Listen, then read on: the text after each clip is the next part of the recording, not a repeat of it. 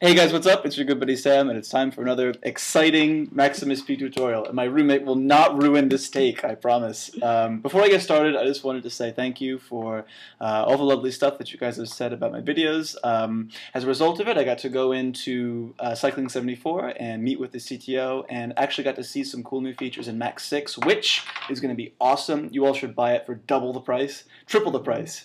Give them as much money as you can because they're doing a really good job. Um, Sorry, I got distracted. Anyways, so yeah, thanks for the support, and um, yeah, let's get started. So this is going to be a little tutorial on actually Max for Live and a little bit of Ableton Live, um, which, full disclosure, I suck at. Um, I admit that I'm the fiery champion of everything Max MSP, but when it comes to Ableton Live, it's a little touch and go. So this will be less of, maybe less of a tutorial and more of a more of a shared experience. It'll be a very San Francisco shared organic um, crowdsource, whatever. We'll learn together. It'll be fun. Sorry. So uh, what I'm going to show you is how to work a little bit with the live object model, um, listen to things in live in Max, and set things in live from Max. So to get started, let's start by making a 2D wave tilde object. Um, don't argue, just do it. Do as I say.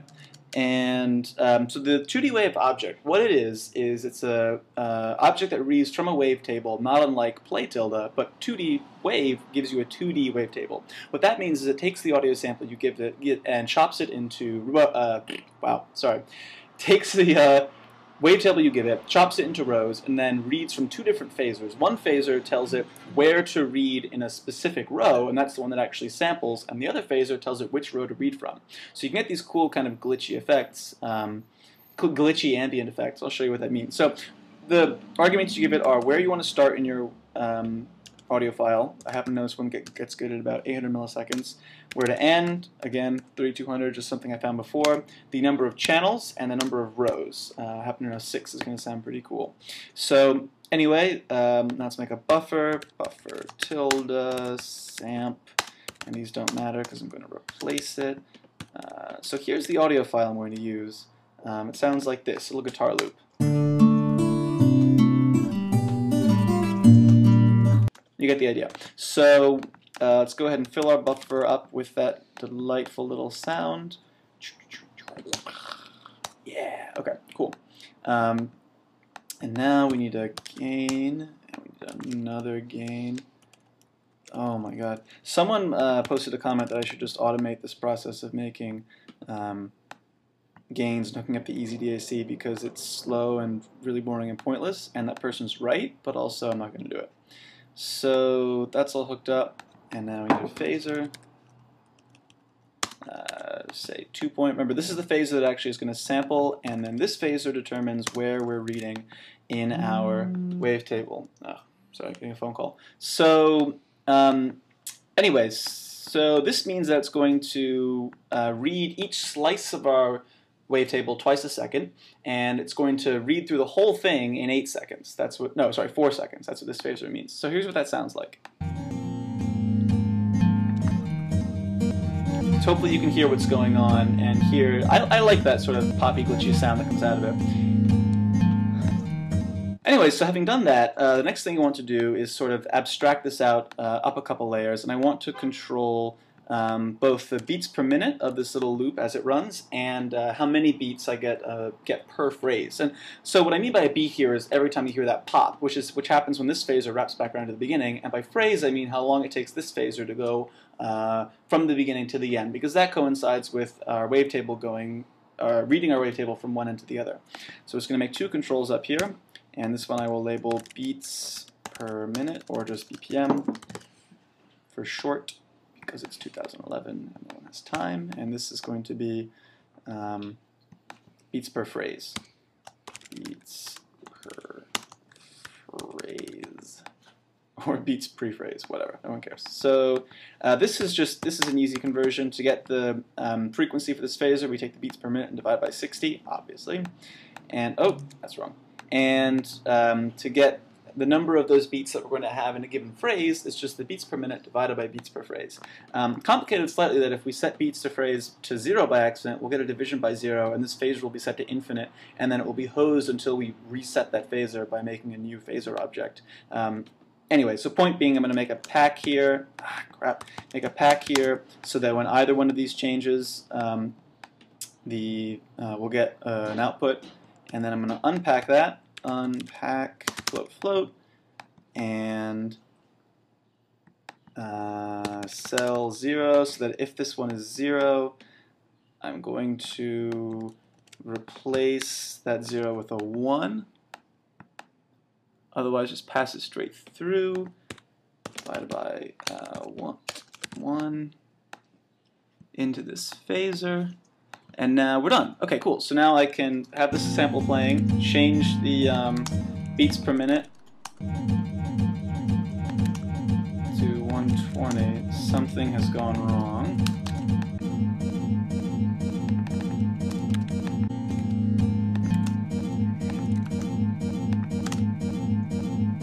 God, what happened? Oh, I see. Huh, lol. Anyway, cool. So now you can hear this is the original 8-beat phrase we had to begin with. One, two, three, four, five, six, seven, eight. We can set this to lower and only get 4 beats. Or longer and get more beats, and we can change the beats per minute. The pitch changes, but whatever, it's fine. Anyway, so now that we've done all this work, the next thing we want to do, obviously, is take this and get it into Ableton Live. So how do we do that? Well, we'll start by copying all this and then switching over to Ableton Live. Uh, I have a little set set up here already, and what I want to do is drop a max effect here. Um, so to do that, well, drop, I want to drop an instance of a max patch uh, into my device rack here and play with it in Ableton Live. So to do that, uh, I want to come up to live devices here, go down to audio effects, and grab the max audio effect, drag and drop it into this slot here. And this little uh, instance of a max patch will appear here, which is pretty slick. Um, so the max audio effect, sorry, if you click this um, little icon here, it will launch, launch an instance of Max for Live. Um, and you can actually edit this patch directly, and the changes you do here will immediately take place and be audible in Ableton Live. That's pretty sweet. Uh, plug in up here, that's where audio comes into your max patch. I'm going to zoom in a little bit. Plug in up here, that's where audio comes into your max patch, and plug out is where you send the affected audio when you're done. Uh, we're not actually going to go in for that. We're just going to make all our make all the audio ourselves and output it all the time. Uh, plug out. Nice. Um, at the bottom, and then go ahead and paste that max patch delete this output because that's not how we're making sound anymore. Move this buffer over here because, um, yeah, replace, fill it in with that guitar loop, and now we should be ready to make sound all over again, all over again in Ableton Live.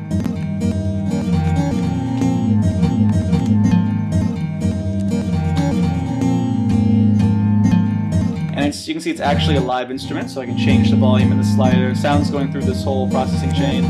Um, everything's happening. So like we're already done. We've already took. Um, can't shut this up now. Anyway, so we're basically done. I mean, we got this thing into live, and um, you know, uh, that's that. So um, I'm trying to decide whether to cut the video here or just keep going. I'll just keep going. Uh, yeah, let's keep going. Anyway, so I'm going to go ahead and make a toggle here so that we can um, shut off all this audio. Um, otherwise, it's going to go not only, uh, it's going to go all the time, even when we're not playing in Ableton. That will suck. Um, do this like this, this like this. So now what I want to do is, um, here's the problem situation we're in now. This is 120 beats per minute. If I set Ableton to 120 beats per minute and then play this drum loop that I've made in Ableton, um, then the two will be in sync and we'll hear them uh, as in sync.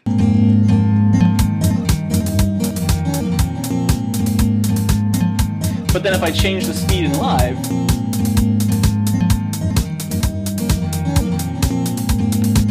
now the drum loop and the max loop are out of sync and everything is hosed.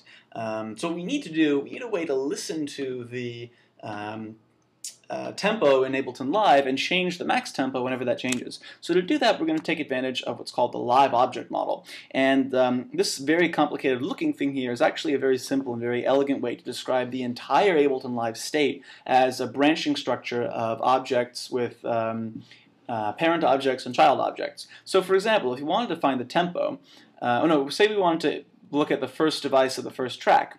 We could uh, the path that describes that track would be the live set, song number one, track number one, device number one, um, and then we could operate on that thing from within Max. In this instance, we're interested in a parameter of the live set um, called tempo. So to get to that thing, what we're going to do is make use of the live.path object and the live.observer object. Live.path takes um, a path and outputs an ID, or that ID is a unique tag for that specific um, member of the live object model. So in this case, we'll send it the argument path live underscore set, and that will return a um, ID of a live set. And we'll make a live.observer. Live.observer takes uh, arguments or uh, responds to sends inputs in its left inlet to the object specified by its right inlet. So we um, send live.set out of this live path. Now um, we send path live to path live set to live path. Live path will output an ID through this outlet, and now our live observer represents the entire live set. So we can send it a message like um, uh, property tempo, and it will spit back the tempo. 129, which is amazing. It's, it's great. And Live.Observer has the um, added bonus that it will also watch that parameter for us, uh, which is pretty sweet. So I'm just going to set this up to always watch that tempo. To do that, I'm going to move property tempo down here, and after live path here, trigger, bang, list. So the first thing it will do is send the list, uh, send the ID to live observer, and then bang this property tempo. So it's watching the tempo. And then I want to send that tempo up here to our beats per minute and add a load bang so that um, this will get bang right when the patch loads up so we don't have to actually configure anything more than once. Okay, and now if we, let's make sure this is set and jump back to Ableton and hit play and turn this one.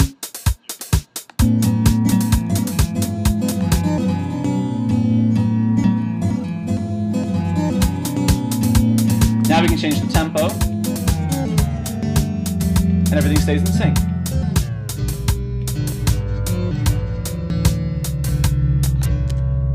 Which is pretty sweet. Um, so now, before we before we get finished here, I get a little time left. Before we finish, um, supposing I also had a uh, corny little um, piano loop that I wanted to go with this audio track that sounded like this.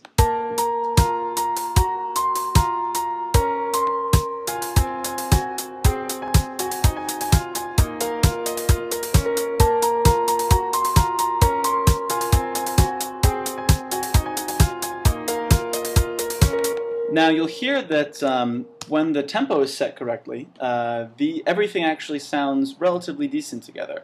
Um, start playing the max loop.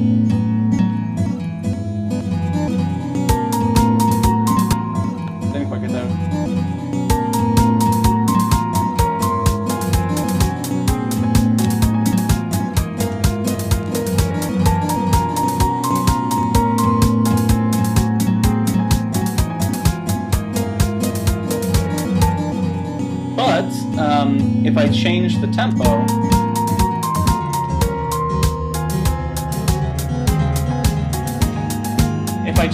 tempo, then because the um, because the pitch of the this little max loop here changes, the max and the uh, piano thing aren't in sync anymore. They aren't uh, in the same key anymore, and it sounds terrible. Um, so to fix that, we want to be able to, when we change the tempo here, uh, set the uh, transposition down here uh, on this acoustic piano um, loop. So to do that, we're going to use live.object. Live.object works the same way, basic way as um, live.observer, where you specify an ID using live.path, and then you're able to act on the live.object max object as if it represented the, uh, well, since it does represent the actual live object in Ableton Live. Um, so we're going to send this path live set again, but this time we want track uh, we want to go look at the tracks and then get track number two because um, these things index from zero. So this is track zero, track one, track two, the piano. And we want devices, um, not this device, not this device, but this device. That's devices two. And then I happen to know that the transposition is the 11th parameter. Parameters 11 and you can I'll show you how to figure out what that is in a second. So anyway, you send that to live.path. Live.path um, will uh, output an ID, and you send that ID into the right inlet of live.object. And then, once you've done that, um, live.object should represent a, a max uh, instance, uh, something in Ableton Live, a parameter in Ableton Live, um, and you can query it with get value, or no, get name, how about? And it will tell us the name of that parameter, which in this case is transpose. We nailed it. Um, and we can do now set value 6, and if we push this and jump over to Ableton, you see the transposition is actually, in fact, bumped up to 6. Um, so now we can use that uh, to make sure these two always stay in key. To do that, I'm going to take the beats per minute here, and since I know they're in key at 127 beats per minute, I can take the beats per minute here, divide by 127, um, take the uh, log base 2 of that number, which is just uh, the log base 10 of the number divided by log base 2 of that number. A little math, don't be afraid. And then uh, multiply that by 12. And that's how far we need to transpose up or down. So now we round that off to the nearest integer, truncate, and we can send that straight into Ableton Live. Uh, one catch here is that because this is all being updated, so what's going to happen is if we change the tempo in Ableton, that's going to propagate here to change the speeds per minute, and then down here and try to set something in Ableton. So a message coming from Ableton is going to trigger us to change something in Ableton. And Ableton doesn't like that, and it will complain, and it will say that we can't do that and won't actually change the parameter, probably because it's afraid of an infinite loop and exploding. Um, because unlike Max, Ableton Live is afraid of blowing up and crashing. Um, so we can fix that with a pipe object. So this pipe will delay the output uh, by one millisecond, uh, unfortunately, but it will also make it seem to Ableton Live as if this message is really coming from Max, when in fact it's um, coming from Ableton Live. So now I'm going to add a load bang here so this loads up and you should see that when we change the tempo now, the transposition of this um, piano loop here will change.